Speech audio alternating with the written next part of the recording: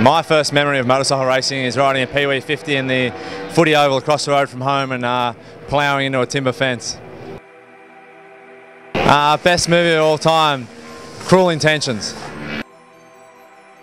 I think it was three weeks ago with my wife, Brooke.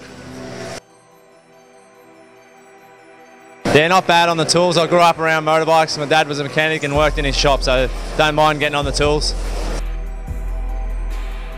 I've got uh, everything from the latest stuff, then uh, go back to a lot. Don't mind a bit of 80s stuff. Must have been too many family parties growing up.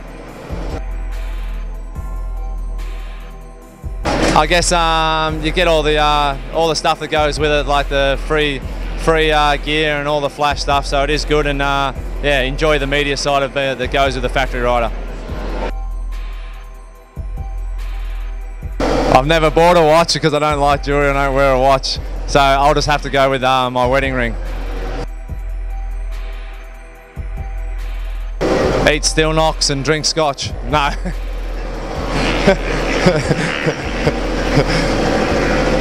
uh, just uh, watch as many movies as I can and uh, depends on where I'm travelling to, try to get on the time zone. Last time I got a speeding ticket was last night. Got caught by a camera car on the side of the road in Adelaide. I've been doing plenty of different stuff lately and mainly uh, just working with some friends and uh, also doing ride days with Champions Ride Days.